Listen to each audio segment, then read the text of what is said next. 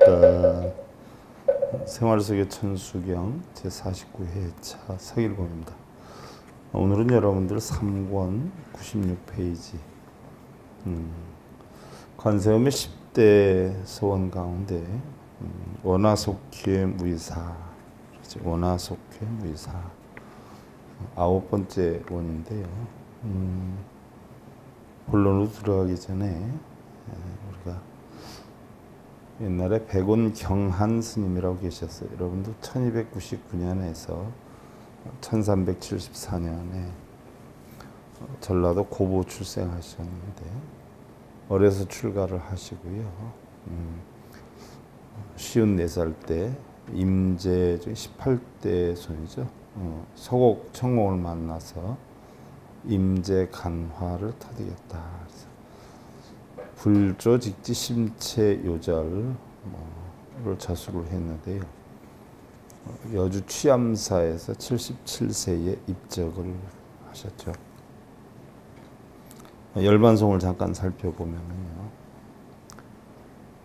인생 70세 고래야 희오 77년에 77년과 처처 객위로 두두시고 향하수리단즉 득지 옥귀 향하유본 불효시명무소주 직탄산 사왕물정단 즉야 일어나 무후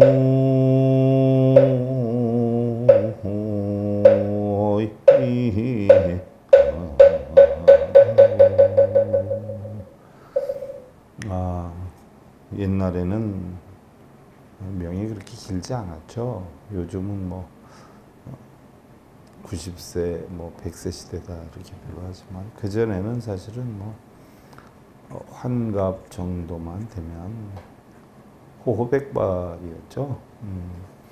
아마 지금 제 나이 같으면 옛날에 호호백발 할아버지 중에 할아버지였다 이렇게 보는데 사람이 70을 사는 것은 예로부터 드문 일인데 77세까지 살다가 77세 마감을 하네. 돌아가는 곳곳마다 길이요, 닿는 곳마다 고향인데 어찌 상해에 몸을 실어 고향에 돌아갈까? 본래부터 이 몸은 있지 않았고 마음 또한 머물 곳이 없는데 한 줌의 재는 사방으로 날려서 한 점이라도 남의 땅 더럽히지 말 것이니라 라고 했어요. 무상함을 보여주는 거죠. 결국 우리는 뭐 내 것이라라고 해서 집착에 빠지는 이 모든 것도 알고 보면은요. 전부 자연으로 돌아가지 않아요. 내 것은 하나도 없어요. 그래서 세상 살면서 오용나게 찌들어서 음, 이런 댓글들이 혹시라도 다른 곳에 더럽히지 않았으면 좋겠다는 그런 말씀의 열반송이었는데 여러분들 오늘은 음, 관세음 보살님 10대 소원 가운데 아홉 번째인데요. 어, 3권의 95페이지죠. 어, 그동안 우리가 한 것이 나무대비 관세음에 원화속질체법 하루빨리 진리를 알아서 원화조득 지혜, 지혜 눈을 빨리 뜨기를 원하고 원화속도 일체중 그 지혜 눈을 가지고 중생을 하루빨리 제도를 하고 원화조득 선방편 그래서 좋은 방편 빨리 얻어서 원화속승 반야선 반야선의 거룩한 배를 빨리 타기 원합니다. 그래서 원화조득 월고에 생로병사 고통마다 빨리 넘기를 원하고 원화속득 개정도 개화선정 바른도를 빨리 얻기 원합니다. 원화조등 원적산 음, 개정회를 해서 바로 원적산 상나가정 원적산에 빨리 쓰기 원합니다. 그 다음에 오늘은 원화속 기무이사 하염없는 무위의 집 빨리 얻기 원합니다. 라고 했는데 아, 무위의 집이다. 무위의 집이다. 해서 무위사다 표현하는데요. 결국 무위다라고 하는 것은 오늘은 여러분들 원화속회 무의사인데 무의다라고 하는 것은요.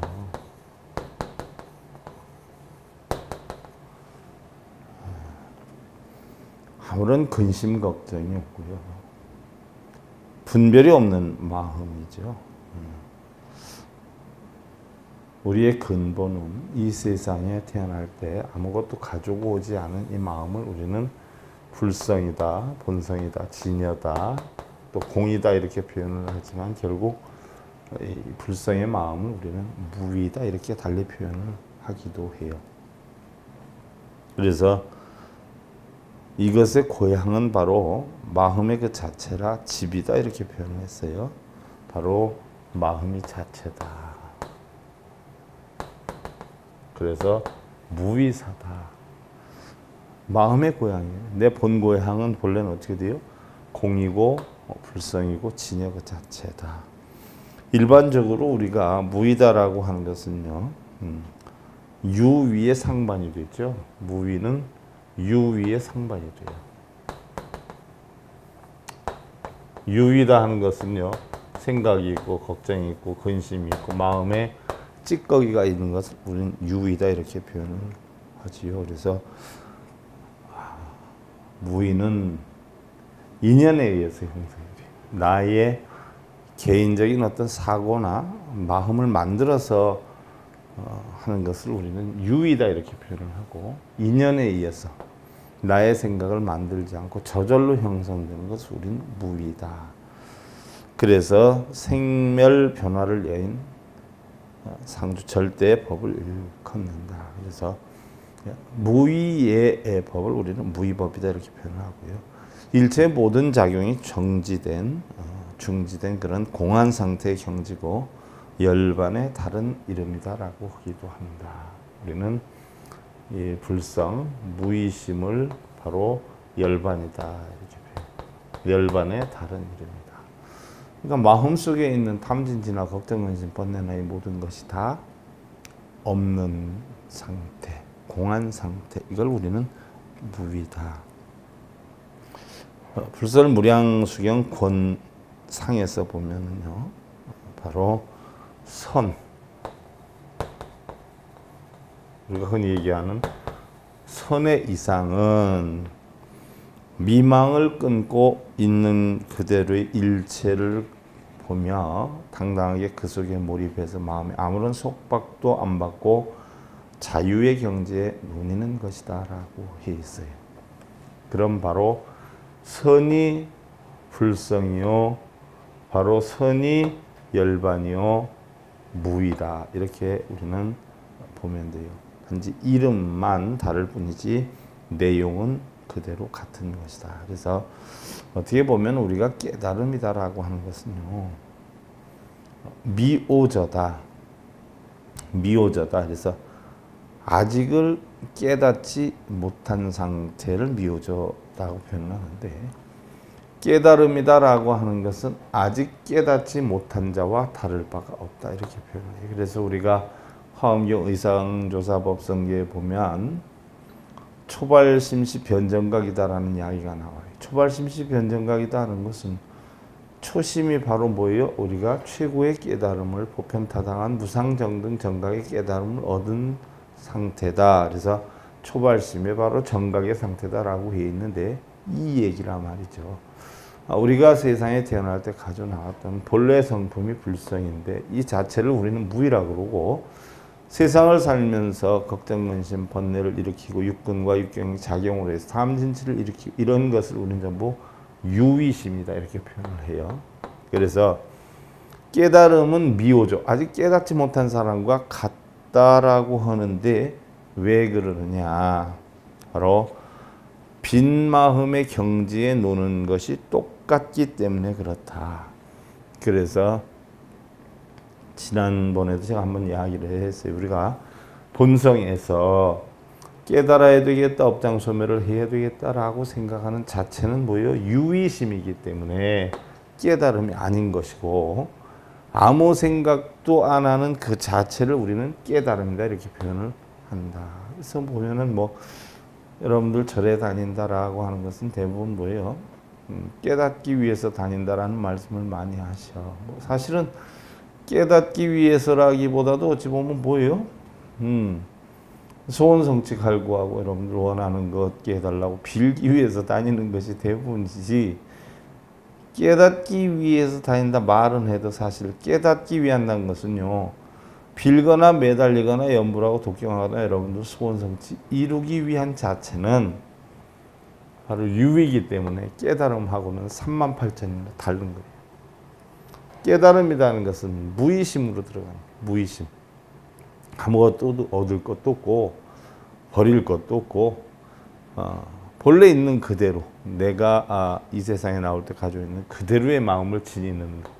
이 자체를 다시 찾는 걸 깨달음이라고 해요. 그러니까 깨달아야 되겠다, 버려야 되겠다, 얻어야 되겠다 하는 생각이 있으면 유의심이기 때문에 그런 마음이 들어가면 평생 깨닫지 못하는 것이고 그냥 있는 그대로 처처의 인연 따라 상응해서 움직이면 그게 바로 깨달음이다. 그래서 이런 깨닫는 마음, 무의사 쉽게 예를 들면 어, 하염없는 어, 나의 근본, 나의 본성을 하루빨리 알겠다라고 했어요. 그 다음에 이제 원화조동 법성신으로 돌아가요. 원화조동 법성신. 원화조동 법성신.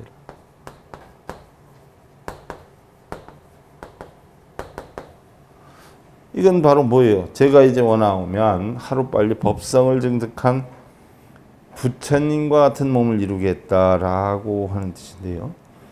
절대 평등 법성의 몸을 이루겠다라고 하는 각과 실천의 다짐을 하는 것이죠. 법이다라고 하는 것은 만유의 근본을 나타내죠. 이를 우리는 법이다라고 하면 물수변에 갈 것자. 그래서 물이 흘러가는 이치. 물이 어떻게 흘러가요? 낮은 데로 간단 말이죠. 돌이 있으면 피해가고 웅덩이가 있으면 고였다 가고 어, 물길이 파인 대로 흘러가요. 내가 저리로 가라 해서 저리로 가는 게 아니고 이리로 가서 이리로 가는 게 아니에요. 그래서 바로 이러한 자연의 이치대로 물이 흘러가는 이치를 우리는 법이다 이렇게 표현을 한단 말이죠. 그래서 법이다라고 하는 것은 세상 만물이 자연의 이치대로 그렇게 변화하는 것. 쉽게 예를 들면 봄, 여름, 가을, 겨울이 그대로 법이어요. 또 산과 물이 그대로 법이어요. 여름에 매미가 오는 것도 뻐꾸기가 오는 것도 법이에요. 겨울에 눈이 오고 얼음이 얼고 이런 것도 법이에요. 자연의 순리대로 흘러가는 걸 우리는 다 법이다 이렇게 표현을 해요. 이것을 갖다가 이러한 성품을 우리는 법성이다 이렇게 표현해요. 법성. 음. 이게 바로 각기 자기마다 갖고 있는 독 특한 성품을 우리는 법성이라고 해요. 돌은 딱딱하고 또 흙은 흙대로의 부드러움이 있기도 하고 또 우리가 이런 자연의 이치 자체를 법성이라고 하는데 이런 것을 우리는 바로 어, 법성의 몸이다 해서 법성신이다 이렇게 표현해요. 바로 법과 성이 연기법으로 인해서 나타난 진리의 현상, 어, 진리와 하나가 된 몸, 이것이 바로 부처의 법신이요. 오고감도 또한 아니 계신 곳이 없으신 부처님의 참모습을 말한다라고 해 있는데요. 쉽게 예를 들면 비가 오면 물이 흐른단 말이죠. 많이 오면 땅이 파여요. 또 돌도 쓸어 내려가기도 해요. 그러다 비가 그치면 멈추기도 하지요. 이 자체를 우리는 법성신이다 이렇게 표현해요. 그래서 나의 육신도 자연의 이치대로 나의 마음이나 육신도 자연의 이치대로 흘러갈 줄 알을 때 우리는 법을 깨달은 몸뚱이기 때문에 우리는 법성신이다 또는 법체다 이렇게 표현을 하지. 그래서 내가 일부러 정형을 하거나 가꾸어서 만든다라고 하는 것은 바로 예토고 중생성이고요. 자연 그대로 그냥 따듬어 주는 거 이것을 갖다 우리는 법성신 이렇게 표현을 하지. 우리가 미타정도 사무경에서 얘기하는 종교의 사명을 보면은요. 고통이나 번민하는 사람들을 고통이나 번민이 없는 경지로 인도하는 것이다. 쉽게 예를 들면 흔히들 여러분들 종교다라고 하면 여러분들 원하는 거 없고 바라는 대로 소원대로 다 이루는 것이 어떤 종교의 힘이다. 부처님의 가피다, 은총이다. 이렇게 표현을 한단 말이죠. 예를 들었어요. 어, 어느 회사에 사원을 한 명을 뽑아 한 명을 한 명을 뽑는데 두 사람의 불자 자식들이 가서 시험을 봤어요. 그럼 한 명은 떨어지고 한 명은 될 거란 말이요. 그럼 이 자체가 붙는 사람은 붙어서 부처님의 갚이고 떨어진 사람은 떨어져서 부처님의 갚인가요? 이럴 때 우리는 뭘 하라고 해? 붙는 사람한테 부처님의 가피를 쓰지만 떨어지는 사람은 또 운이 없었다라고 해. 그건 아니에요.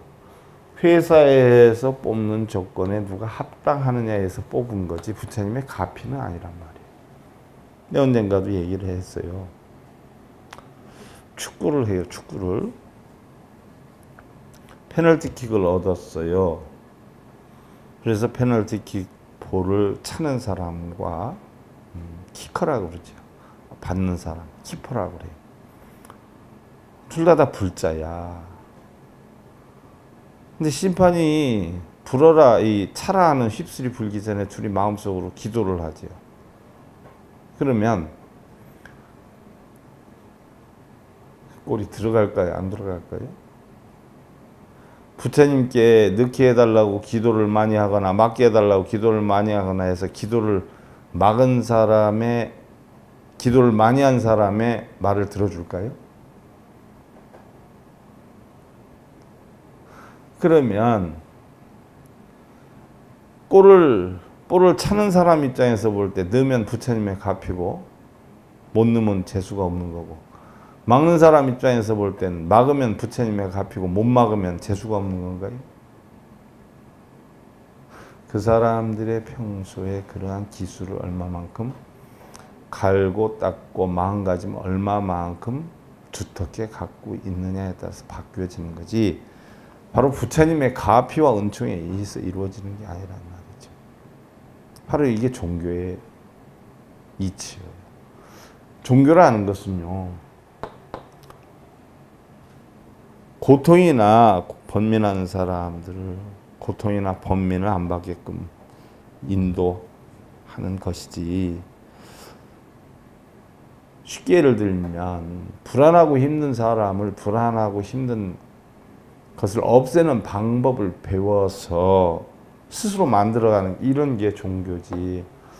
뭐 오래 살게 해달라고 빌거나 합격하게 해달라고 빌거나 뭐 신랑이나 아내가 나한테 잘해주기를 빌거나 자식이 성공하기를 빌거나 이것은 종교의 목적하고는 완전히 다르죠. 종교는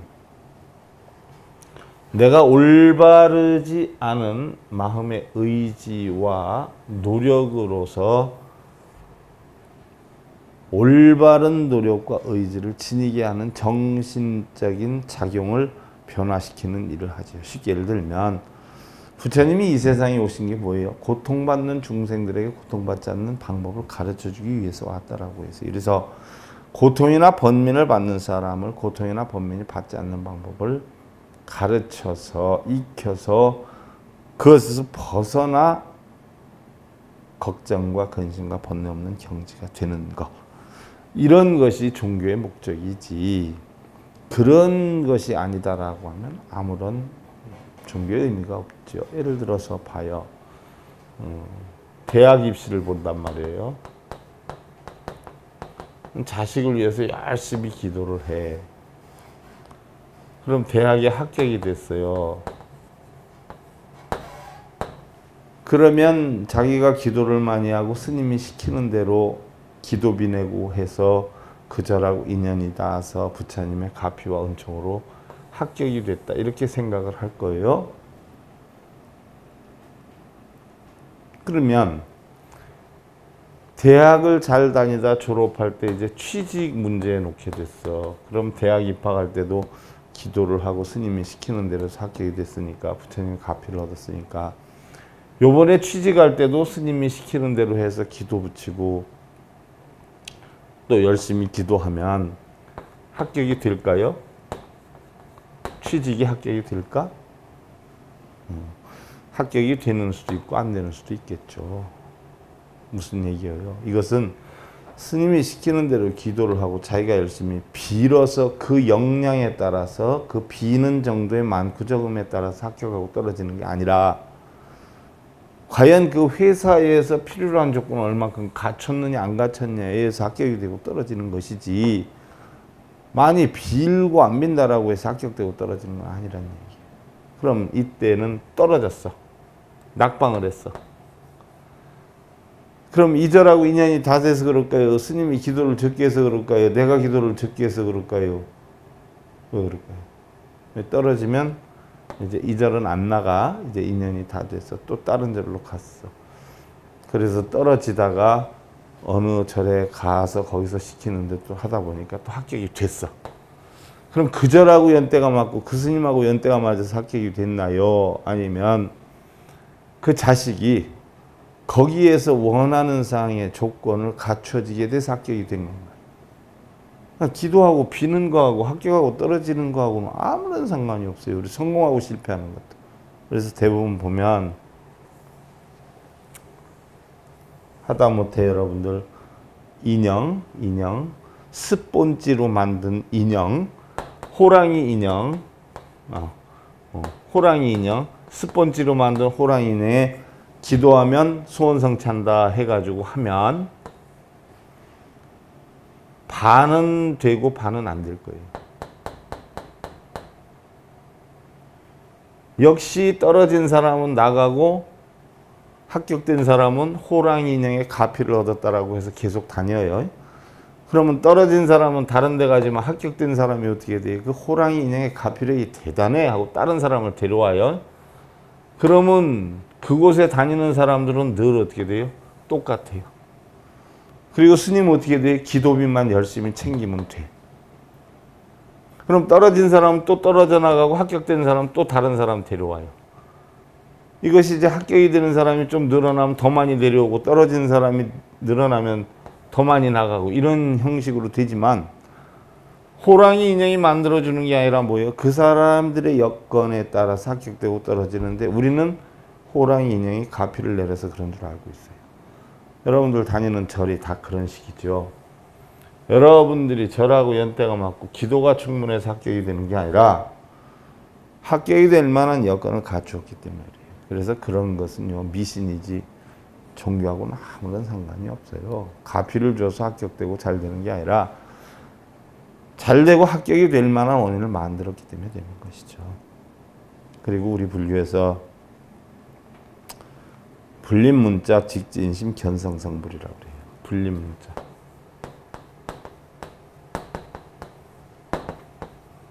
불림 문자는 뭐예요? 어, 문자가 필요 없다는 거예요. 문자가. 그러면 문자가 필요 없다라고 하면 부처님 경전이 왜 남아져 있고 달마 대사가 능가경을 왜 남겨놨고 여러분들은 뭐하러 경전을 해? 음. 결국은 글자가 소용이 없다는 게 아니라 부처님 경전은 사실은 지도예요.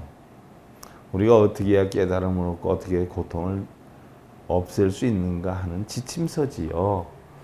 그럼 그 지침서를 들고 다닌다 해서 고통이 없어지는 게 아니라 거기에서 고통 없애는 방법을 배워가지고 그 지도는 더 이상 갖고 다니지 마. 여러분들 길 찾아가는데 예를 들어서 처음엔 길을 몰랐다가 지도를 보고 찾아갔는데 길을 찾아서 그 집을 찾아가면 그 다음부터는 지도 보고 가요? 그냥 가요? 그냥 간단 말이야. 그 얘기야.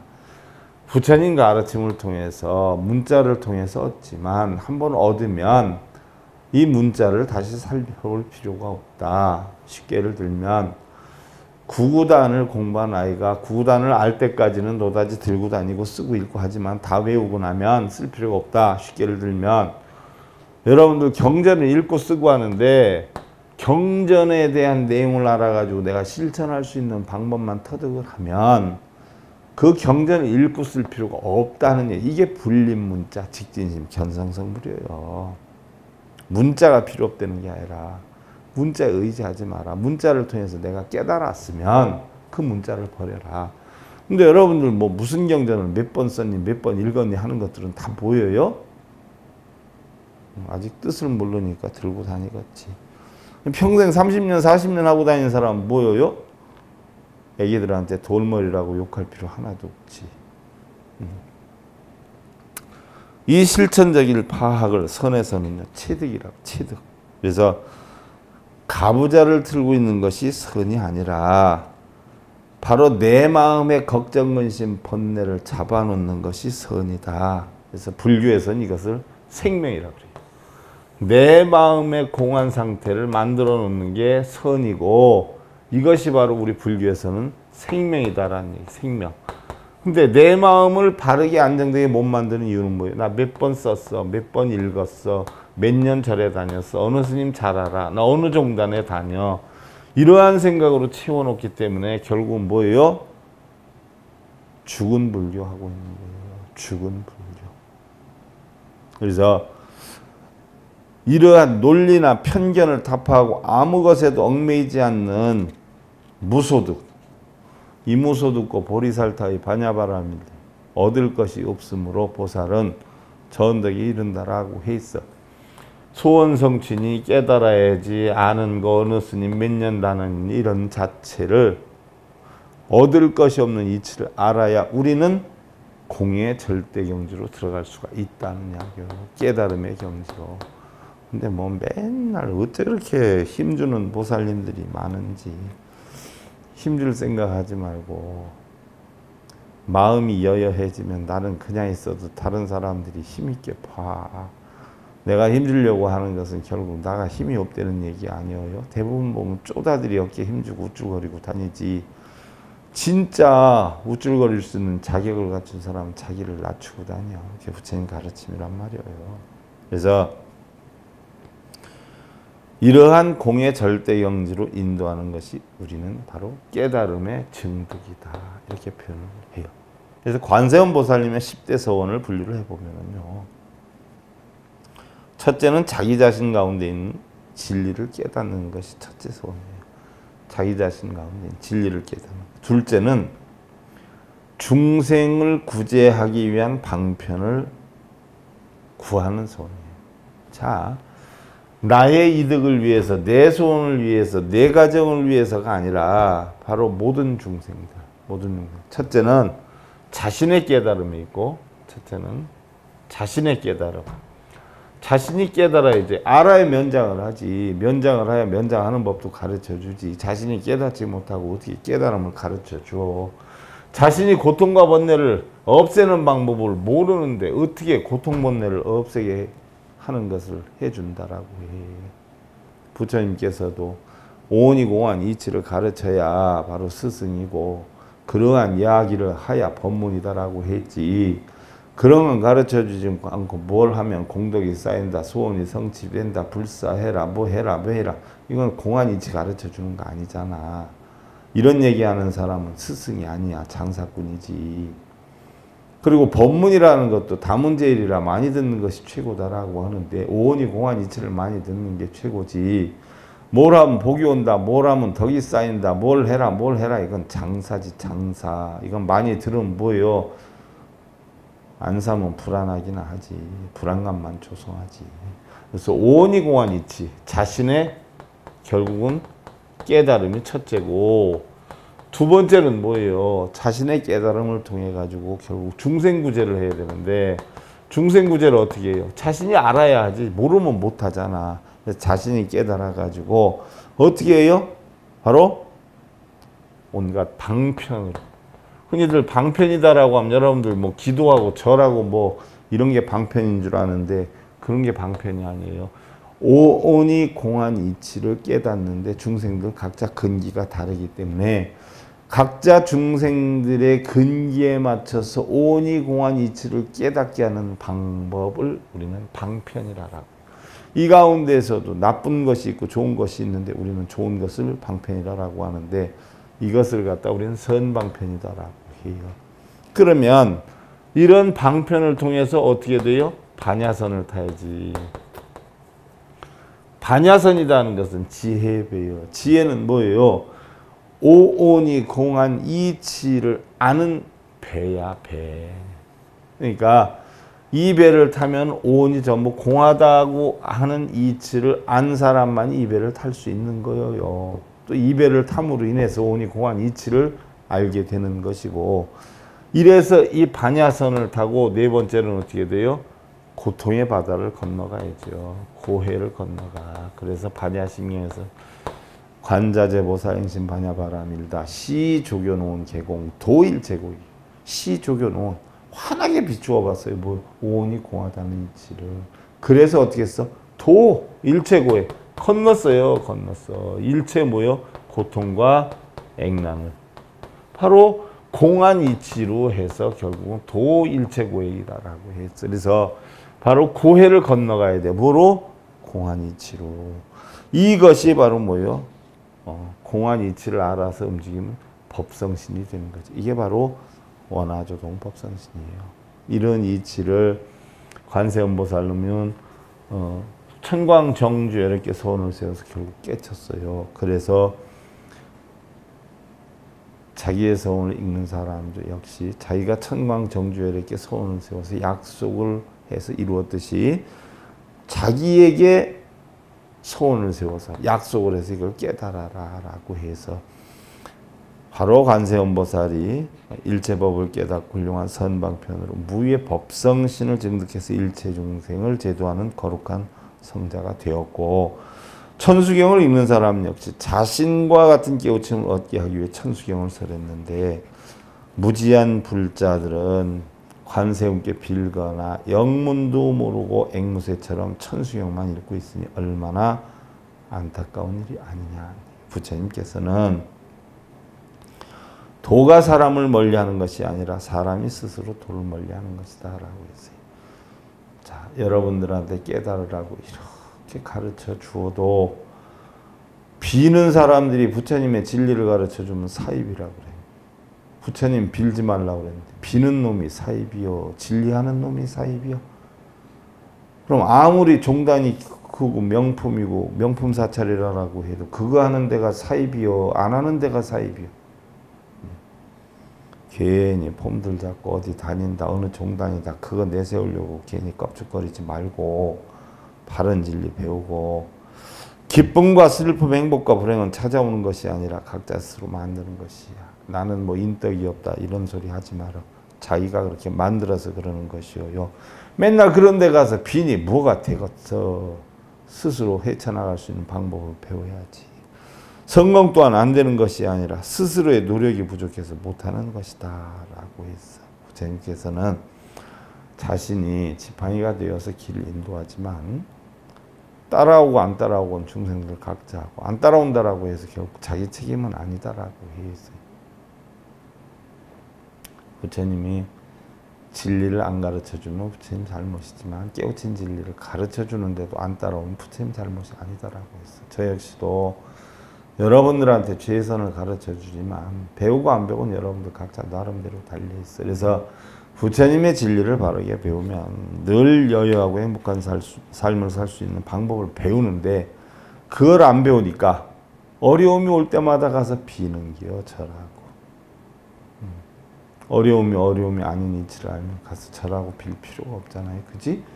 또 그것도 가르쳐 주는 대로 가야지. 가봤자 또 얼마 가져와라. 뭐 해라. 천도제 해라. 기도해라. 이럴 거 아니요. 평생 해봤자 어떻게 돼요?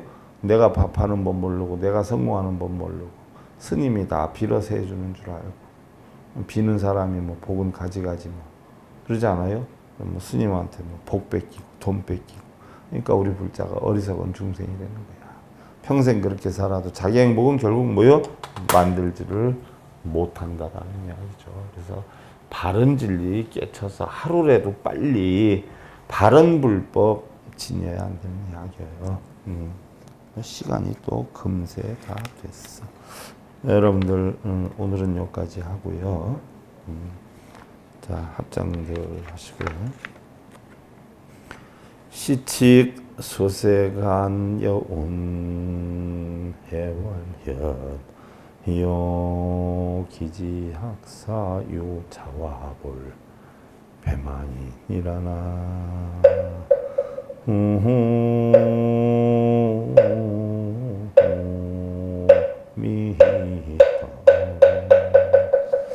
진리가 세상을 비추게 되면 구름이 거치고 마치 달이 나오는 것과 같나니 배움과 바른 생각 멈추지 말고 깊이 새겨서 앉거나 눕거나 언제나 생각하여 잊지 말지어다. 결국은 바른 불법을 배워야 여러분이나 가정이나 주변이 다 밝은 달처럼 환하고 행복한 날들이 될 것이리라는 이야기예요.